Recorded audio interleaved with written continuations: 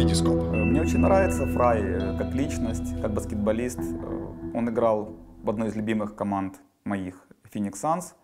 И я очень доволен, что его последний длинный контракт получился именно такой. 32 миллиона на 4 года. Если копнуть чуть глубже и посмотреть, какой агент представлял интересы Ченнинга Фрая в процессе подписания контракта, то все сразу становится понятно. Этот человек Роб Пелинка. Первый контракт, который приходит на ум, это 2 года и 48,5 миллионов Коби Брайант.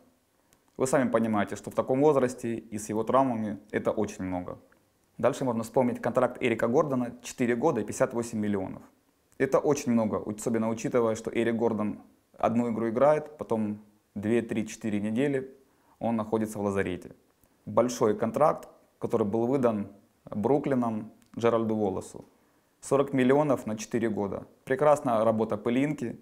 Он э, сработал на моменте, когда генеральный менеджер Бруклина Билли Кинг просто не мог не подписать новый контракт с Волосом.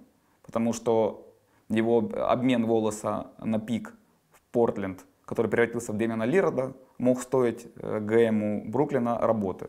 Ну а самым главным клиентом э, этого агента является Карлос Бузер, которого он со скандалом э, перетянул из Кливленда в Юту и потом помог ему подписать его последний длинный контракт на 80 миллионов на 5 лет с Чикаго Буллс. Идеальный возраст, идеальная статистика, идеальная ситуация. Все, все это в сумме поспособствовало тому, что Карлос Бузер получил такой огромный контракт. Хотя было очевидно, что через два, максимум три года он начнет сдавать.